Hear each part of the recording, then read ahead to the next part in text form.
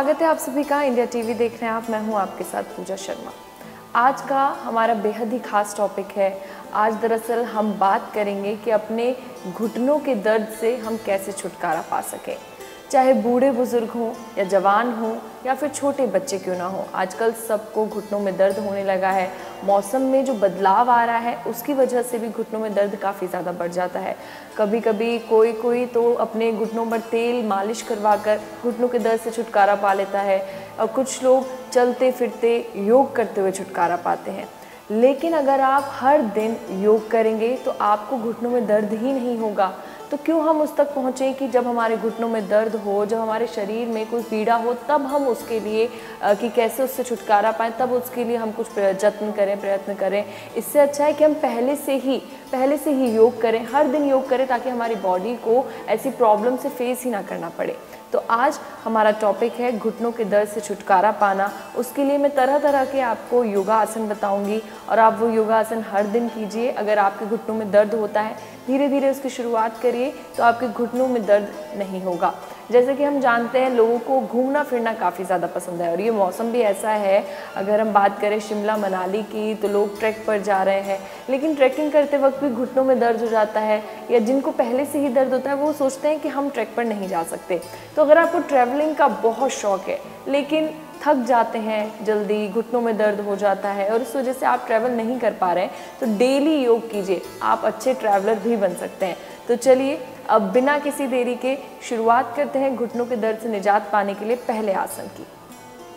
तो सबसे पहले आज शुरुआत करेंगे वीरासना के साथ। इसको हीरो पोज भी कहा जाता है। और सबसे खासियत इस पोज की ये है कि आपका कंसंट्रेशन लेवल इससे बढ़ता है। ना ही आपके घुटनों का दर्द कम होता, बल्कि इसके साथ साथ आपका कंसंट्रेशन लेवल बढ़ता है। और जब आप इस पोज में बैठेंगे तो आप अच्छा अच्छा सोच भी सकते हैं। आपकी सोच का एक अलग लेवल हो सकता है, लेकिन उस समय आपको ये सोचना है पॉजिटिव नेगेटिव थिंकिंग की तरफ़ आपको बिल्कुल अपने माइंड को डिस्ट्रैक्ट नहीं करना। तो चलिए, वीरासना करते हैं। वीरासना करने के लिए सबसे पहले आप वज्रासन में बैठ जाइए। कुछ ऐसे।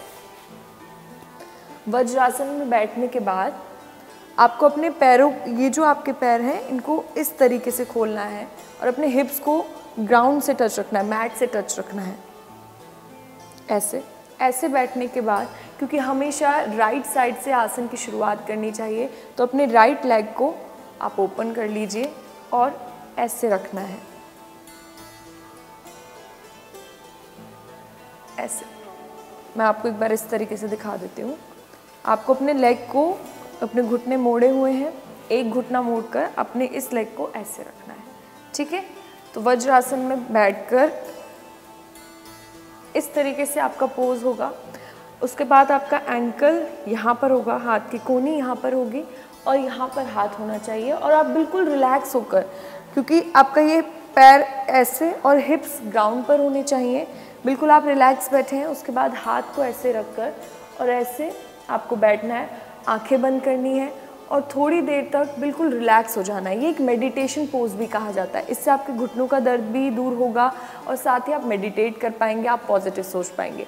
तो कुछ देर वीरासना में बैठते हैं और आप खुद महसूस करेंगे कि आपको बहुत ज़्यादा बेटर फील हो रहा है। लेकिन इस वक्त आपको बिल्कुल पॉजिटिव सोचना है और ज़्यादा से ज़्यादा कोशिश कीजिएगा कि कुछ सोचना ही नहीं है। कुछ नेगेटिव थाट हमारे मन में नहीं लाने हैं। और धीरे धीरे आपको ब्रीद इन ब्रीद आउट करना है।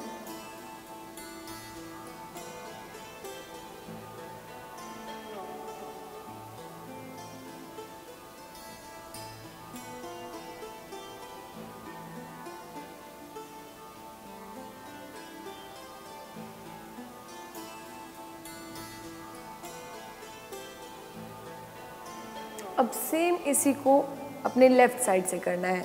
यानी आपका ये पैर ऐसे होना चाहिए और इस पैर को मोड़ कर ऐसे बैठना है आपको। रिलैक्स होकर अब लेफ़्ट हैंड को यहाँ पर रख कर चिन के ऊपर आपका ये हाथ होना चाहिए और रिलैक्स हो जाइए बिल्कुल। इसको थिंकिंग पोज भी कहा जाता है कि हम कुछ सोच रहे हैं और इस वक्त हम मेडिटेट कर रहे हैं अच्छा महसूस कर रहे हैं। और आपने फील किया होगा, जब आपने राइट साइड से किया होगा, आपके दोनों घुटने में खिंचाव पड़ा होगा। इससे घुटनों का दर्द बहुत अच्छे से दूर होता है और इसके साथ साथ आप अपनी सोच पर भी काम कर पाते हैं कि किस तरीके से आपको अपनी सोच बढ़ानी है पॉजिटिव सोचना है। साथ ही इसमें आपकी थाइस पर भी स्ट्रेच पड़ेगा थाइस पर भी खिंचाव पड़ेगा, क्योंकि आपने एक अपने पैर को फोल्ड किया हुआ और एक पैर आपका इस तरीके से है तो आपकी थाइस पर भी असर पड़ने वाला है। तो अब लेफ़्ट साइड से हम इस पोज को करते हैं और थोड़ी देर इस पोज में बैठते हैं, विरासना करते हैं।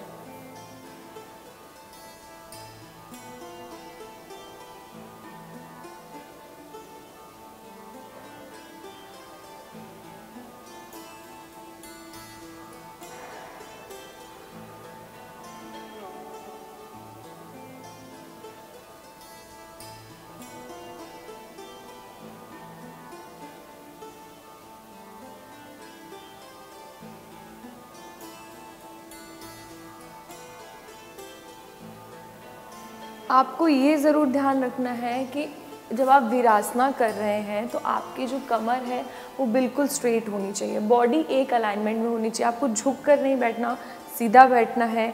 सीधे आपको घुटने रखने हैं। एक घुटने को आपको नीचे रखना है। अपने हिप्स को मैट से टच कर कर रखना है, ताकि आप रिलैक्स होकर बैठ पाएँ। आपके किसी भी बॉडी पार्ट पर कोई खिंचाव, कोई दबाव नहीं पड़ना चाहिए।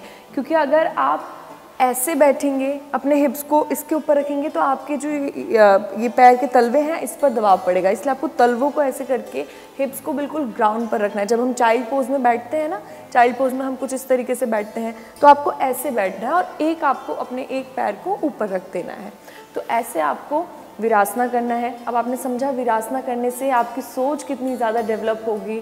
थिंकिंग पोज क्यों कहा जाता है इसको और हीरो पोज क्यों कहा जाता है इसे? क्योंकि हम एक हीरो की तरह एक अच्छे अच्छे विचार अपने दिमाग में ला रहे हैं तो ये पोज काफ़ी ज़्यादा अच्छी है आपके घुटनों के दर्द के लिए।